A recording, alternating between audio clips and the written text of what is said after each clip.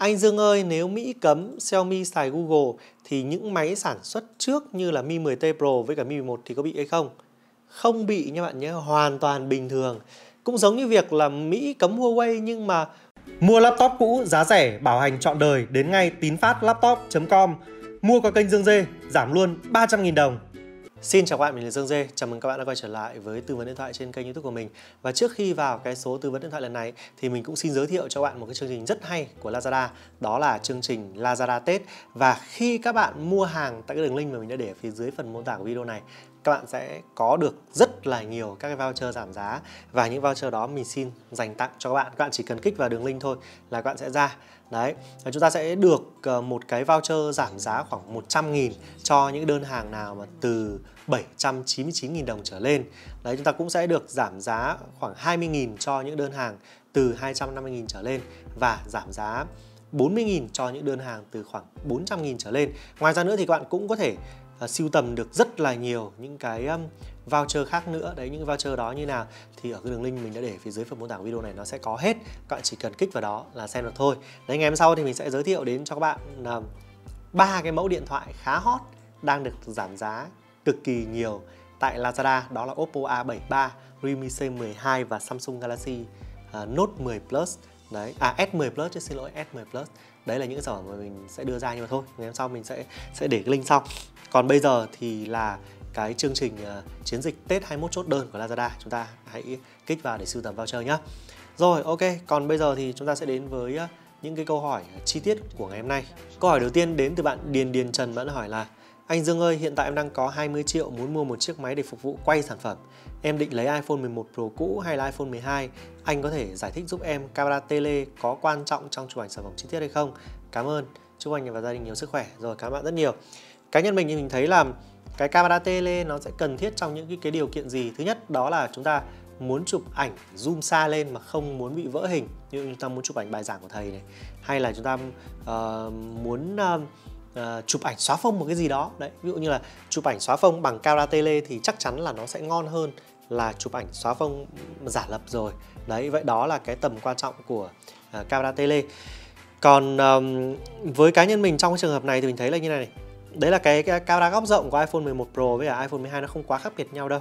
iPhone 11 Pro thì lại có thêm camera tele. Thì cái sự khác biệt lớn nhất ở đây giữa hai sản phẩm đó là cái sự khác biệt từ camera chính. Khi mà camera chính của iPhone 12 tốt hơn iPhone 11 Pro. Thế tuy nhiên là nếu mà chấm điểm thì mình thấy là nếu camera chính của iPhone 12 được khoảng 10 điểm thì ờ, uh, camera chính của iPhone 11 Pro cũng đã được khoảng 9 điểm rồi. Đấy vậy nên là uh, nếu mà mình lựa chọn trong cái điều kiện là chụp ảnh và quay video sản phẩm ấy, thì mình sẽ lựa chọn iPhone 11 Pro. Bởi vì đôi khi nhá có những cái thứ mà rất ít khi bạn sử dụng đến, ví dụ như là camera tele chẳng hạn. Nhưng khi bạn cần thì nó lại có luôn, thì cái điều đó lại rất là quan trọng. Đấy, vậy nên là với cái trường hợp này thì thì mình nghĩ là mình mình sẽ lựa chọn iPhone 11 Pro. Thi thoảng chúng ta chụp ảnh xóa phông với sản phẩm chúng ta nghệ nghệ tí cũng được thì đúng nào, xóa phông camera tele sẽ tốt hơn. Thế tuy nhiên là với camera tele thì các bạn cũng cần phải chú ý một điều, đó là với camera tele thì tiêu cự nó khá là dài. Nên khi các bạn chụp, các bạn phải giữ chắc tay, hoặc nếu mà có thêm một cái tripod nữa để các bạn chụp hình thì nó sẽ yên tâm hơn khi chúng ta chụp ảnh với cả camera tele. Đấy. Chúng ta sẽ đến với câu hỏi tiếp theo của bạn Đại Vương vẫn hỏi là anh ơi so sánh giữa S21 cộng iPhone 12 và Note 20 Ultra thì máy nào ngon nhất? Uhm, gọi là máy nào ngon nhất thì cũng khó nhưng mà mình cứ cứ ờ, tính như sau nhé. Đầu tiên là về mặt thiết kế mình sẽ đánh giá là Note 20 Ultra là đẹp nhất. Về mặt màn hình thì Note 20 Ultra mình cũng đánh giá là đẹp nhất. Về mặt hiệu năng thì về con chip thì mình đánh giá là iPhone 12 là nhỉnh nhất Đấy, nhưng mà bộ nhớ trong tối thiểu thì Note 20 Ultra thì lại là ngon nhất Đấy.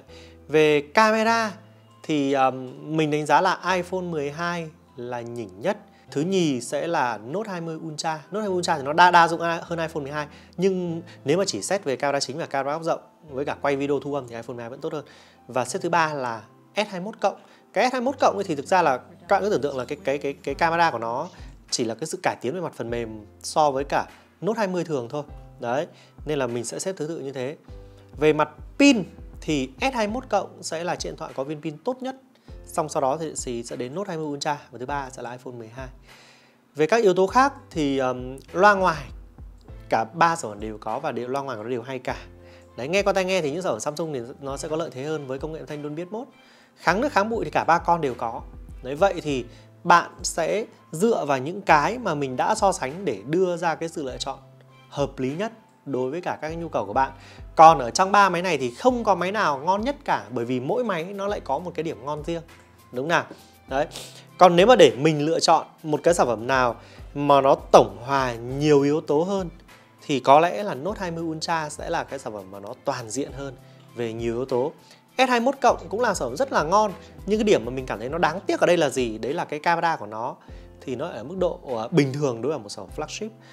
Uh, iPhone 12 thì ờ, mình không ấn tượng về mặt thiết kế của nó cũng như là cái um, iPhone 12 thì uh, uh, mình nói thật chứ mình mình mình đã lựa chọn 12 mini rồi thì mình cũng không nghĩ đến iPhone 12 lắm nhưng mà nếu mà để lựa chọn thì mình nghĩ là mình sẽ lựa chọn Note 20 Ultra mặc dù đây là một chiếc điện thoại rất nhiều duyên nợ với mình khi mà mình không mua nó mình không nâng cấp nó từ S20 Ultra lên Đấy. Nếu mà đây bạn đưa S20 Ultra vào thì có thể là nó sẽ khác nhưng mà đây bạn đưa Note 20 Ultra vào thì đấy thì đấy là cái câu tư vấn của mình.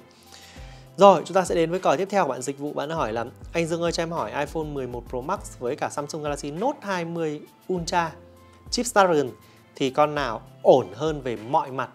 Thực ra là so sánh hai sản phẩm flagship này thì cũng khá là khó khăn đấy, thực sự là như thế. Um, nếu chúng ta so sánh chi tiết từng phần một ra nhé thì câu trả lời sẽ như sau. Thiết kế mình sẽ lựa chọn Note 20 Ultra. Màn hình mình cũng sẽ lựa chọn Note 20 Ultra Camera thì mình sẽ lựa chọn iPhone 11 Pro Max. Hiệu năng mình cũng sẽ lựa chọn iPhone 11 Pro Max. Nhưng bộ nhớ trong thì tối thiểu thì Note 20 Ultra hơn hẳn. Và pin mình cũng sẽ lựa chọn iPhone 11 Pro Max mặc dù dung lượng bé hơn nhưng tối ưu tốt hơn. Đấy, kháng nước kháng bụi cả hai con đều có. Loa ngoài cả hai con đều nghe rất là hay. Nghe qua tai nghe thì nốt 20 Ultra có phần nhỉnh hơn. Đấy. Thế thì bạn sẽ xem ra là bạn bạn cần cái gì hơn nốt 20 Ultra lại còn có thêm cả cả cây bút nữa. Nhưng chốt lại một câu đó là gì? Đó là bạn đã có cái tầm tiền để với lên đến nốt 20 Ultra về iPhone 11 Pro Max rồi thì bạn thấy con nào là bạn mua con đó thôi không có cần phải đắn đo lăn tăn gì cả. Đấy thì đấy là cái cái điểm những cái điểm mà mình mình đã so sánh ra rồi. Còn Note 20 Ultra thì uh, nó sử dụng con chip Snapdragon 865 cộng ok rất là mạnh mẽ. Nhưng mà um, để mà nói về tính ổn định thì uh, vừa nãy mình tại sao mình nói iPhone 1 Pro Max nghỉ hơn về về hiệu năng? Bởi vì mình mình sẽ lựa chọn tổng hòa cả về cái tính ổn định của nó nữa đấy. Chứ còn ờ, nếu mà ờ, các bạn cho rằng là hai con chip đó có thể đánh bằng hòa thì ok đồng ý chẳng vấn đề gì cả. Đấy bởi vì cái sự chênh lệch giữa hai con chip là rất là thấp nó không đáng kể đâu. Chúng ta sẽ đến với câu hỏi tiếp theo của bạn Sơn Phạm bạn hỏi là nên bỏ ra 400 nghìn để mua Joy 4 bản 464 hay hay không anh? Hay là lên nên mua bản 364 à nghĩa là cố lên để thêm 1 GB RAM. Ờ, quan trọng nhất là cái nhu cầu của bạn. Liệu có cần đa nhiệm nhiều hay không. Nếu mà chúng ta đa nhiệm bình thường ví dụ mở khoảng ờ, ba bốn app thậm chí là 5 app cơ bản lên thì cũng chả vấn đề gì cả với 3 GB nhưng nếu các bạn mở nhiều ấy thì thực sự là 3 GB là không đủ đâu. Đấy. Đôi khi ờ, chúng ta nghĩ rằng là việc thêm 400 nghìn chỉ thêm 1 GB RAM nó hơi lãng phí. Nhưng nếu chúng ta mua bản 3 GB về mà chúng ta sử dụng nó không đủ cho chúng ta thì cái việc bạn bán cái điện thoại đó đi thế xong sau đó lại mua lại cái phiên bản 4 GB RAM thì nó sẽ uh, lỗ hơn rất nhiều so với việc bạn mua ngay một cái phiên bản 4 GB ngay từ đầu. Đúng nào? Nên là với trường hợp này của mình để yên tâm hơn mình sẽ chấp nhận bỏ thêm 400.000 ra để mua phiên bản 4 GB mặc dù là 400.000 là một cái mức chênh lệch tiền rất lớn ở trong cái tầm giá chỉ rơi vào khoảng trên dưới 3 triệu thôi đấy chứ nó không giống như kiểu là 400 nghìn từ từ 16 lên đến 16 triệu rưỡi thì nó lại khác đấy nhá. Chứ còn đây là 400 nghìn chỉ có từ khoảng 2 triệu 7, 2 triệu 8 lên 3 triệu 2 đấy là khác nhau đấy. Đấy thế thì mình thì mình vẫn sẽ lựa chọn cái phiên bản 464 để cho đỡ phải lăn tăn nếu không sau này mà bán máy đi xong lại nâng cấp lên nữa thì chết đúng nào? Rồi chúng ta sẽ đến với câu tiếp theo của bạn. Duy Thái bạn hỏi là anh Dương ơi, nếu Mỹ cấm Xiaomi xài Google thì những máy sản xuất trước như là Mi 10T Pro với cả Mi 11 thì có bị hay không? Không bị nha bạn nhé hoàn toàn bình thường. Cũng giống như việc là Mỹ cấm Huawei nhưng mà Huawei Mate 20 um, với cả Mate 20 Pro rồi thậm chí là P20 P20 Pro vẫn đang sử dụng các dịch vụ Google bình thường. Nhưng mà cái trường hợp mà Mỹ cấm Xiaomi còn lâu lắm nên anh em cứ yên tâm. Đấy hôm trước lên video mà khổ anh em hoảng loạn quá Tại sao phải hoảng loạn như thế làm gì? Đây Mỹ mới chỉ đưa Xiaomi vào danh sách đen thôi Chứ chưa có bất kỳ một cái lệnh cấm nào Chưa có bất kỳ một cái lệnh trừng phạt nào cả nên là và kể cả sau này có thì những cái thiết bị mà anh em đã mua rồi thì cũng không ảnh hưởng gì đâu. Đấy ảnh hưởng như thế nào thì hôm sau mình sẽ nói tiếp. Rồi chúng ta sẽ đến với câu hỏi cuối cùng ngày hôm nay. Câu hỏi đến từ bạn. Uh, khó đọc tên bạn hỏi là anh Dương ơi em bình luận cũng nhiều rồi mong anh trả lời ờ, giúp em.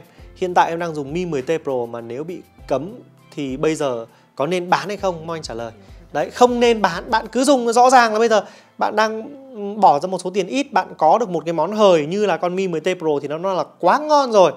Tại sao bạn lại bán nó đi? Đúng nào phí quá không bán giữ lại mà dùng.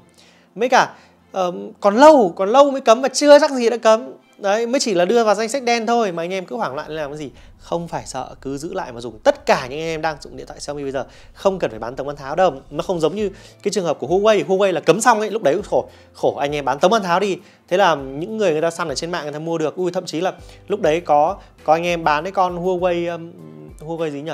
Mate 20 Pro. Một con ngon như thế anh em bán 4 5 triệu. Trời ơi ở trên mạng người ta săn được xong người ta bán lại toàn 7 8 triệu thôi. Nghĩ cũng buồn rồi, và như vậy là câu hỏi vừa rồi là câu hỏi cuối cùng kết thúc số tư vấn điện thoại ngày hôm nay. Anh em chú ý là mình có rất nhiều voucher giảm giá qua Lazada. Anh em săn voucher thì kích vào cái đường link mà mình đã để phía dưới phần mô tả video này nhé bye bye.